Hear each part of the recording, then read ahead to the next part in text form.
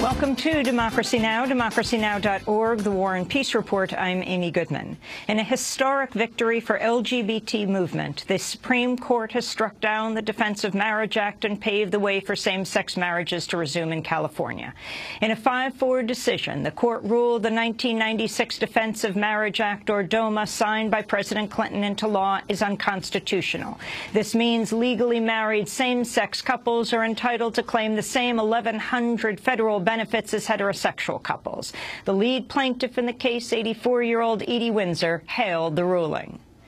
I'm honored and humbled and overjoyed to be here today to represent not only the thousands of Americans whose lives whose lives have been adversely impacted by the Defense of Marriage Act, but those whose hopes and dreams have been constricted by the same discriminatory law. Children born today will grow up in a world without DOMA, and those same children who happen to be gay will be free to love and get married, as Thea and I did, but with the same federal benefits, protections, and dignity as everyone else. Edith Windsor sued the federal government after she was forced to pay additional estate taxes because it did not recognize her marriage to her wife, Thea Spyer. Just minutes after DOMA was struck down, a New York City immigration judge stopped the deportation hearing of a gay Colombian man married to a U.S. citizen.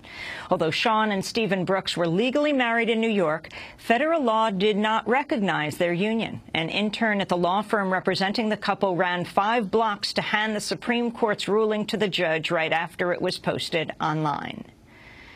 Minutes after DOMA was struck down, the Supreme Court also ruled supporters of the Proposition 8 ban on same-sex marriage in California do not have standing to appeal a lower court ruling that overturned it. This effectively gives the green light for same-sex weddings to proceed in California, the most populous state in the country.